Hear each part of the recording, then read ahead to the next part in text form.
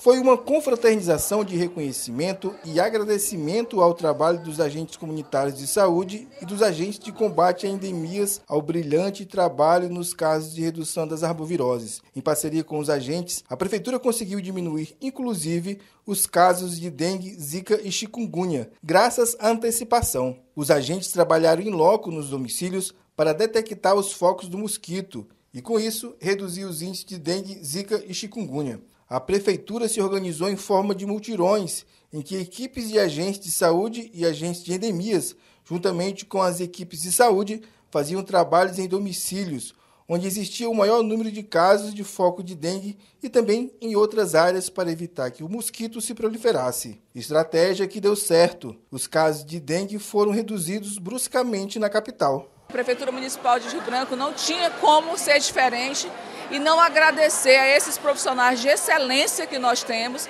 e que através deles nós conseguimos não ter epidemia de dengue em 2024 dentro do município de Rio Branco. Então, assim, eu estou muito feliz e muito honrada de todas essas pessoas que trabalharam em campo de janeiro até agora março e quero ressaltar, a tarefa, o trabalho continua e você que está em casa nos ouvindo, você da população também está de parabéns. O gráfico mostra o declínio dos casos de dengue na cidade desde 2021 e culminando com os baixos casos em 2024, segundo a secretária, resultado de uma estratégia de ação envolvendo toda a equipe. E nós fizemos essa tarefa múltipla e nós fomos para a rua, capacitamos sim, nós capacitamos não só esses profissionais que estão sendo valorizados aqui, mas teve capacitações para enfermeiros, para médicos constantemente, para que eles pudessem diagnosticar um paciente com mais agilidade. Então, todos eles foram capacitados e é isso que a prefeitura fez durante todo esse mês de janeiro, fevereiro e março.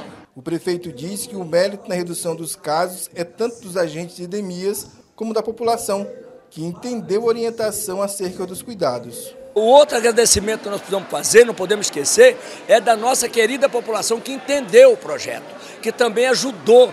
Né, os agentes de endemias, os agentes comunitários de saúde tiveram suas casas, orientaram e eles cumpriram a risca o que precisava ser feito. Por isso, a gente não tem dengue praticamente, ela é muito pequena aqui no estado do Acre, ou seja, muito menor do que qualquer outra capital do Brasil.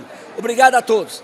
Na ocasião, foram entregues kits aos agentes de endemias para o trabalho no dia a dia como coletes, mochilas e chapéu de proteção solar. Hoje é muito importante né, nós estarmos aqui recebendo toda essa gratificação, porque foi um trabalho árduo, né, dia a dia, de casa em casa, no sol, mas trouxe para nós resultados né, de saúde pública.